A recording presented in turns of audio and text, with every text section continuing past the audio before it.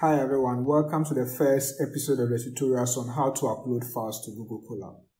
Now if you want to read more about the Google Colab and also know how to use it, I have a separate video that shows you how to do that. So I advise you to watch that if you are new um, to the Google Colab platform. So the link to that video is in the description box.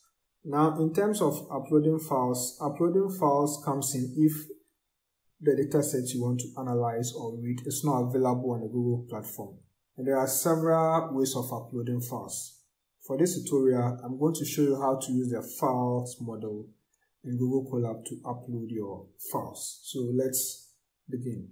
Now, I'm going to demonstrate using a data set from Kaggle, which is here. This is a page, and I'll leave the link to this page in the description box so you can use that to also get the data. So I'm using the train dataset, which is here, train.csv. So I'll click on it and then you have the name appearing here. So from here, we download using this button here. So that's on your right side. So you click on the download button and then you download it. So you save it on your PC anywhere should be fine provided you can locate it. So I'll save mine on the desktop. So that is done. Let me just check to make sure that it's there. Yeah, so there's the file. So I have it there. Now let's get back to the Google Colab environment. So there's the Google Colab and please make sure you have a Google account and you have signed in. That is the requirement for running or for using Google Colab. Now you may have this page appearing, this interface. So just click outside and then you are in the Google Colab environment. So let's open a new notebook first. Let's assume that you are going to use some codes and it is in those codes that you will read the file. So let's create a new notebook here. Go to File, New Notebook. And then let's open the notebook. So here you already have one box here to enter the code. So let's use that one. So what we need to do is to first import the files module in Google Colab. So I'll say from google.colab import files. So that's the first thing that you have to do. And then you run the code. So let's run it. Let's just run this and then see how it goes. So if it's successful, you have a green check here. So let's just wait. Yeah, so that is done. So let's create another code here using this. And then here we see uploaded.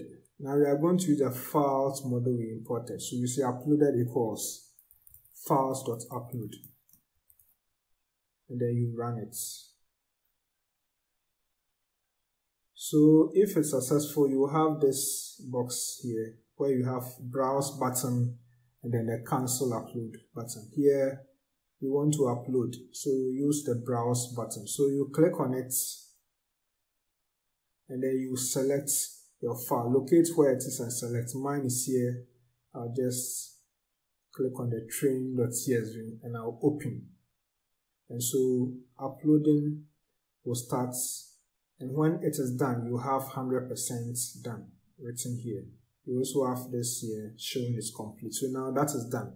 So now that you have it available, we can proceed. And please know that with this approach we are using, everything is temporary, meaning if you reload the browser, if, if you close and open a new session, it's likely you may have lost this information. So that's by the way. There are other ways to make it permanent, but um, those ones we will do it in subsequent videos. So let's continue. Now that you have the file uploaded, let's create a new code here just to read the file. Okay, just to test to ensure that everything is fine. So if it's CSV files, then one of the libraries we can use is pandas. So we are going to use pandas to just read a file and then test. So we say import pandas as pd. Let's run this.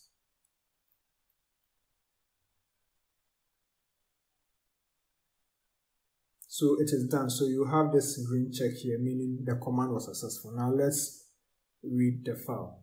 Now, whatever we are doing is in memory and we are dealing with a strange uh, data. So we are going to use another module which we call the IO.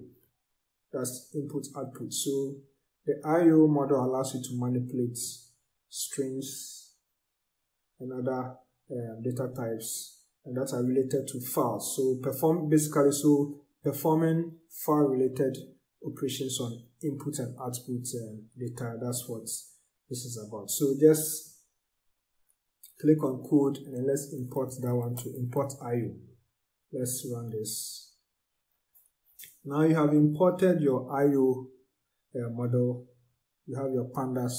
So let's open a new line and now we are going to read.